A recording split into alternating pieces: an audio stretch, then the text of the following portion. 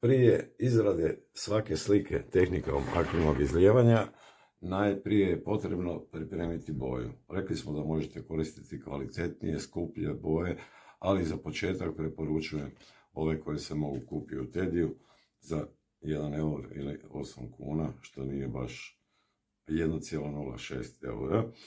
Za početak ću pripremiti četiri neke osnovne boje.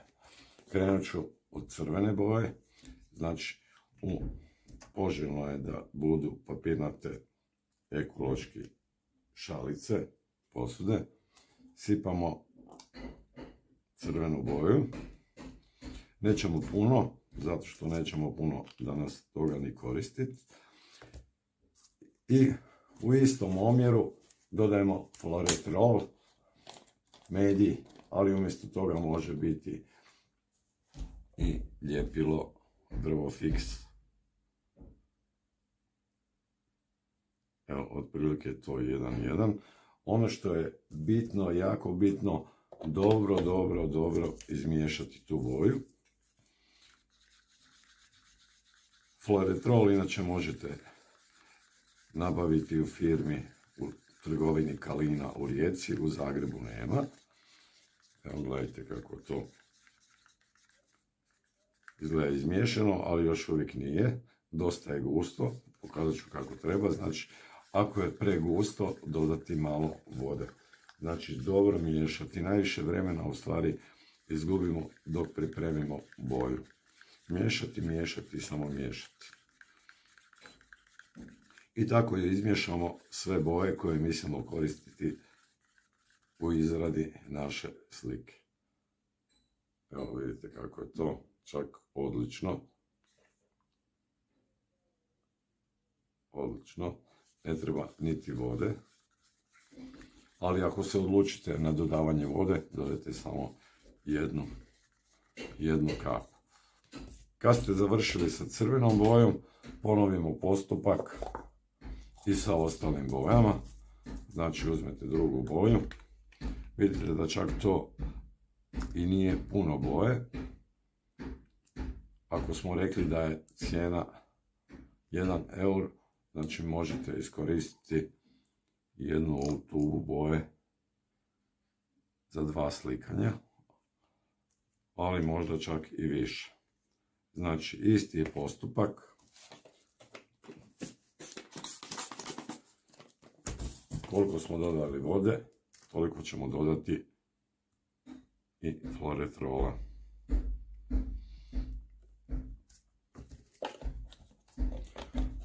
Ovaj postupak je onako reći ćemo opuštajući antistresni.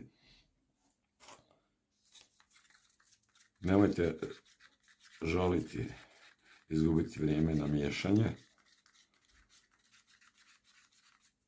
Jer što bude bolje izmiješana, napravljena, pripremljena boja i slike će biti ljepše.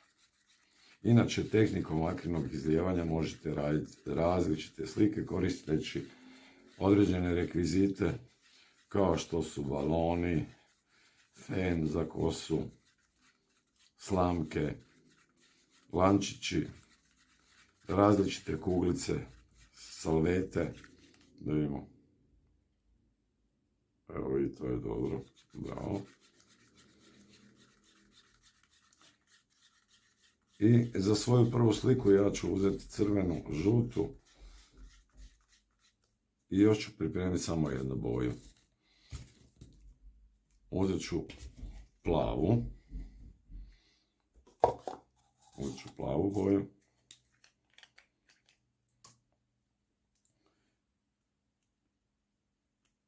A možete uzimati normalno nijanse, ima koliko želite i koliko ko voli.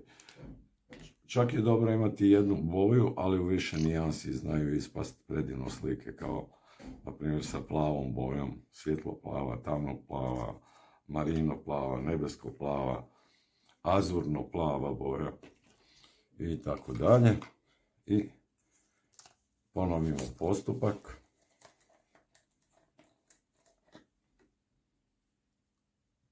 Sipamo floretrola.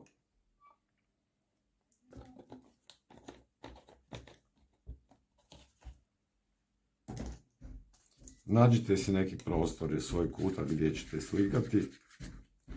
Koristite ovako ove tacne, u njih će se izlijevati boje. Obavezno jednokratne rukavice koje će vam trebati kad krenete slikati. Male čašice koje nam služe za boje, ali nam služe kao i podložak za podlogu na kojoj ćemo slikati, a to ćete vidjeti sve u sljedećem videu. Ove boje nisu guste i ne zahtijevaju vode, što je dobro.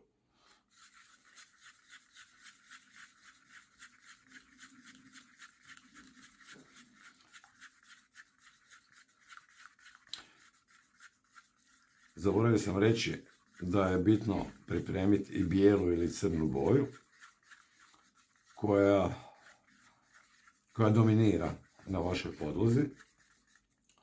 Ja ovdje već imam pripremljenu crnu boju, pa je neću miješati, malo ću izmučkat, možda ću malo još dodati floretrola,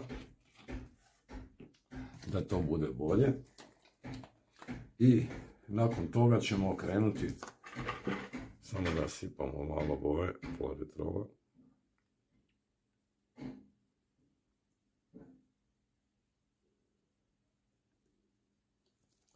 Tako.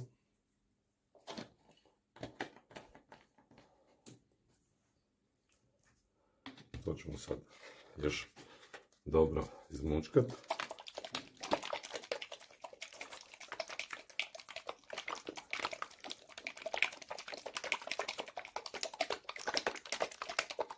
I crna boja je spremna. Crvena boja je spremna. Žuta je spremna. I plava boja je spremna. I u sljedećem videu krećemo sa izradom naše prve slike.